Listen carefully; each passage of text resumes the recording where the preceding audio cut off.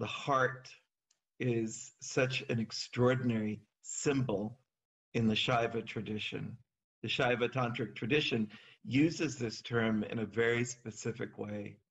That essential, inmost presence of the divine, the living pulsation of consciousness, the throb of aliveness inside each one and indeed inside everything. It is immanent, it is in everything, and yet it is also beyond everything. Hridaya is the term that is used. And this idea of entering the heart, of somehow locating experientially in our own trajectory what it is that this reality is about.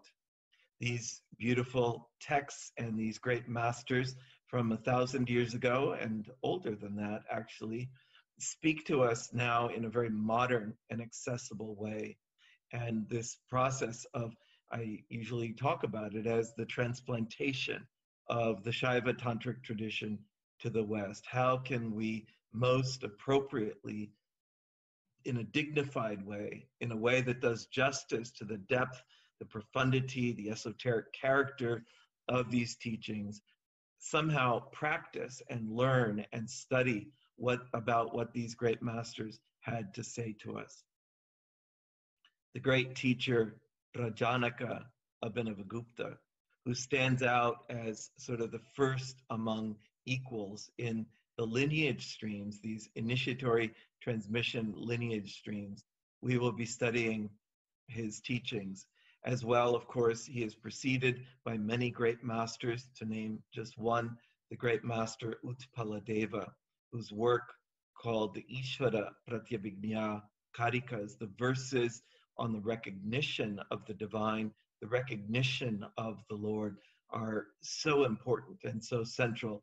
And Utpaladeva is praised by Abhinavagupta himself as his extraordinary great grandfather teacher. As well, of course, the teachings of Kshemaraja, the, one of the primary disciples of Abhinavagupta, and indeed of several other teachers, but particularly we have before us this extraordinary master, Rajanaka Abhinavagupta in his invocation to a variety of different texts that he composed. He, write, he writes various kinds of poems of invocation. And I wanted to read two verses. Uh, we're really invoking the Shakti tonight. We're invoking the living potency of consciousness. We're embarking on an extraordinary journey of study, of consideration, of refinement, of depth, of inner transformation, of illumination that makes available the subtle and profound teachings to us in a way that makes them accessible, that makes them comprehensible, that makes them also practical and usable for us in our life. And always the tradition is that at the outset, at the beginning, there must be this conscious turning toward that throb of aliveness of the Mahashakti's extraordinary potency and how that consciousness, aliveness, that thrill of the pulsation of life, in fact, must flow inside each one of us in an accelerated, in an amplified, in a deepened kind of way.